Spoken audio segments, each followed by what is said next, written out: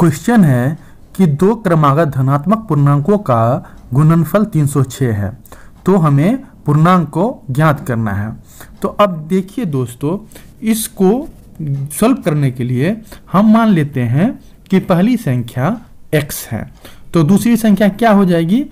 x plus one या x minus one हो जाएगी, क्योंकि यहाँ पे दो क्रमागत संख्या है। क्रमागत का संख्या मतलब एक के बाद दूसरी वाली संख्या। तो चूँकि क्रमशः संख्या होगी, इसीलिए कोई x है तो दूसरा x प्लस वन या x माइनस वन होगी। तो यहाँ पे हम x प्लस वन मान लेते हैं। तो दो संख्या हो गया x और x प्लस वन अब प्रश्न के अनुसार इन दोनों का गुणनफल 306 है।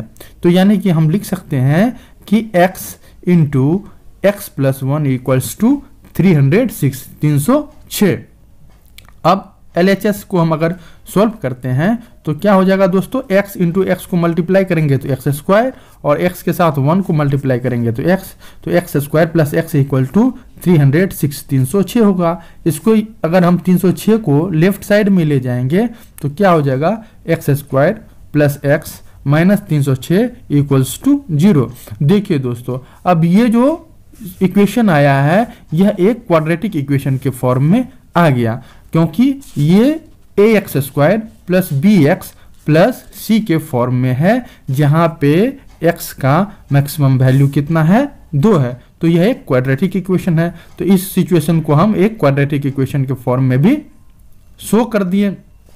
अब दोस्तों, चूँकि इसको हमें सॉल्व करना है एक्स का वैल्यू निकालना है तो हम फैक्टराइजेशन के मेथड से इसका सोल्यूशन करेंगे।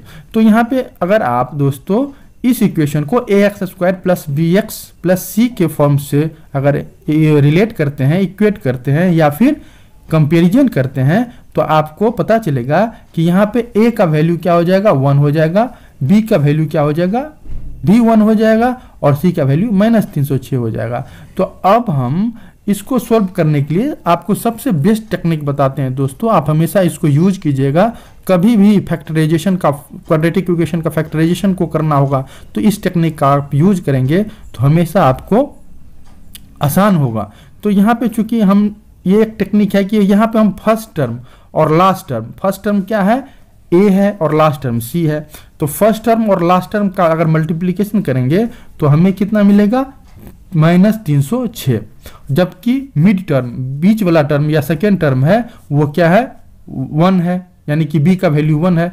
तो हम बी वाले टर्म को इस तरह से एक्सप्रेस करेंगे इस तरह से लिखेंगे कि जो दो वैल्यू में हम उसको लिखेंगे दो आ, संख्या में लिखेंगे उस दोनों संख्या का मल्टीप्लीकेशन जो होगा वो हो जाएगा यहाँ पे ए और सी के मल्टीप्लीकेशन के बराबर, यानी कि बी के टर्म को इस तरह से लिखेंगे कि वो माइनस तीन सौ छः आ जाए और उसका सम जो है वो वन आ जाए। तो इसका बेस्ट तरीका क्या है दोस्तों? कि देखिए 306 जो है वो मोटा मोटी 250 और 400 के बीच में आता है।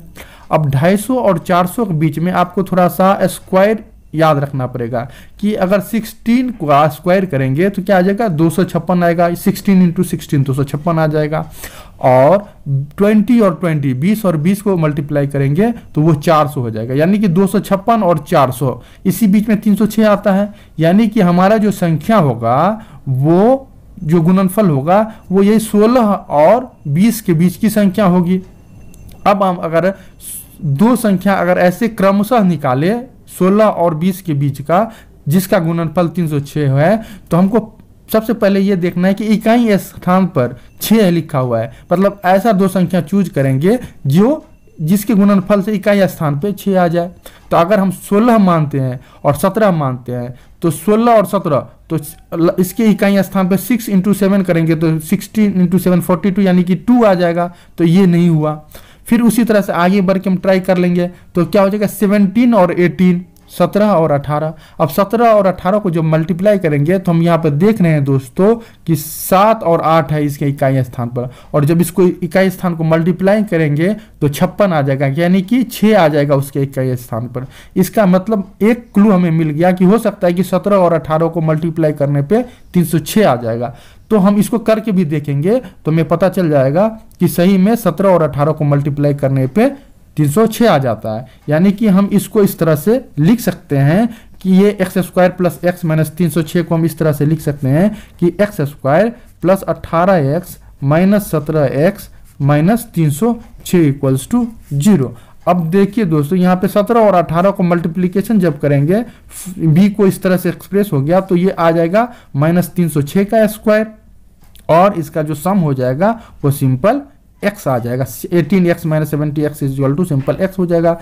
तब एक्स स्क्वायर इक्वल्स टू हो जाएगा। यहाँ से हम x को कॉमन ले लेंगे दोस्तों तो क्या हो जाएगा? x into x plus eighteen और यहाँ से हम 17 को कॉमन ले लेंगे माइनस सेवनटीन को तो x plus eighteen equals to हो जाएगा ज़ीरो अब यहाँ से अगर x माइनस सेवनटीन कॉमन आ जाता है तो x minus seventeen into x plus eighteen equals to zero अब यहाँ से आपका दो वैल्यू निकल जाएगा, या तो x इक्वल्स टू आ जाएगा 17 और x प्लस एटीन को निकालेंगे तो हो जाएगा x equal to minus eighteen अब चूँकि माइनस वाली संख्या हमारा हो नहीं सकता क्योंकि धनात्मक पूर्णांक कह रहा है, इसीलिए माइनस एटीन नहीं होगा।